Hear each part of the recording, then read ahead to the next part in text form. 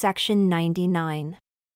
A letter from Joseph Smith Jr. to his uncle, Silas Smith, written in Kirtland Mills, Ohio, September 26, 1833.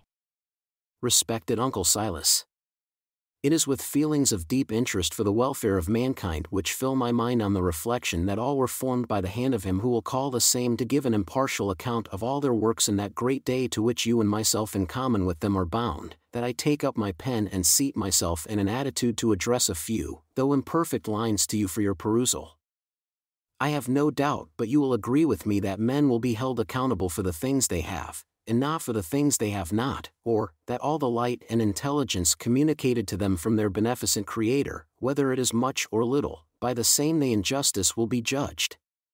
And that they are required to yield obedience to, and improve upon that, and that only, which is given, for man is not to live by bread alone, but by every word that proceeds out of the mouth of the Lord seeing that the Lord has never given them to understand by anything heretofore revealed that he had ceased to speak, forever, to his creatures, when sought unto in a proper manner, why should it be thought a thing incredible that he should be pleased to speak again in these last days for their salvation?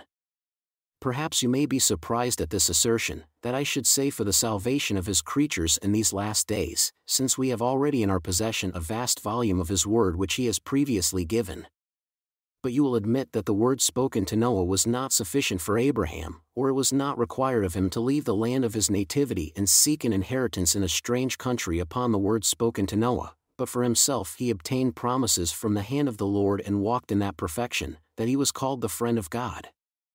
Isaac, the promised seed, was not required to rest his hope alone upon the promises made to his father Abraham, but was privileged with the assurance of his approbation in the sight of heaven by the direct voice of the Lord to him.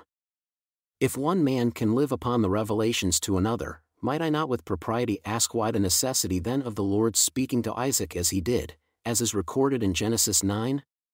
For the Lord there repeats, or rather promises again, to perform the oath which he had previously sworn to Abraham, and why this repetition to Isaac? Why was not the first promise as sure for Isaac as it was for Abraham? Was not Isaac Abraham's son, and could he not place implicit confidence in the veracity of his father as being a man of God? Perhaps you may say that he was a very peculiar man and different from men in these last days, consequently, the Lord favored him with blessings, peculiar and different, as he was different from men in this age. I admit that he was a peculiar man, and was not only peculiarly blessed, but greatly blessed. But all the peculiarity that I can discover in the man, or all the difference between him and men in this age, is that he was more holy and more perfect before God, and came to him with a purer heart and more faith than men in this day. The same might be said on the subject of Jacob's history. Why was it that the Lord spake to him concerning the same promise, after he had made it once to Abraham and renewed it to Isaac? Why could not Jacob rest contented upon the words spoken to his fathers? When the time of the promise drew nigh for the deliverance of the children of Israel from the land of Egypt, why was it necessary that the Lord should begin to speak to them? The promise or word to Abraham was that his seed should serve in bondage, and be afflicted four hundred years, and after that they should come out with great substance. Why did they not rely upon this promise, and when they had remained in Egypt, in bondage four hundred years, come out without waiting for further revelations, but act entirely upon the promise given to Abraham that they should come out. Paul said to his Hebrew brethren that God might more abundantly show unto the heirs of promise the immutability of his counsel. He confirmed it by an oath. He also exhorts them, who, through faith and patience, inherit the promises. Notwithstanding, we, said Paul, have fled for refuge to lay hold upon the hope set before us, which hope we have as an anchor to the soul, both sure and steadfast, and which entereth into that within the veil, yet he was careful to press upon them the necessity of continuing on until they, as well as those who then inherited the promises, might have the assurance of their salvation confirmed to them by an oath from the mouth of him who could not lie. For that seemed to be the example anciently, and Paul holds it out to his Hebrew brethren as an object attainable in his day. And why not? I admit that by reading the Scriptures, of truth, the saints in the days of Paul could learn, beyond the power of contradiction, that Abraham, Isaac, and Jacob had the promise of eternal life confirmed to them by an oath of the Lord. But that promise or oath was no assurance to them of their salvation, but they could, by walking in the footsteps and continuing in the faith of their fathers, obtain for themselves an oath for confirmation that they were meet to be partakers of the inheritance with the saints in light.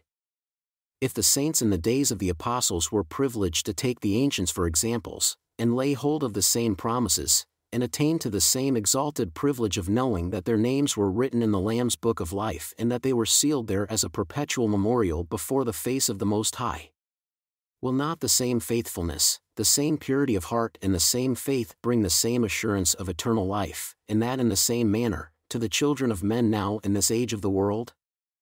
I have no doubt but that the holy prophets and apostles and saints in ancient days were saved in the kingdom of God, neither do I doubt but that they held converse and communion with him while they were in the flesh, as Paul said to his Corinthian brethren that the Lord Jesus showed himself to above 500 saints at one time after his resurrection.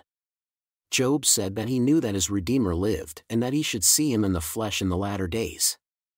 I may believe that Enoch walked with God and by faith was translated.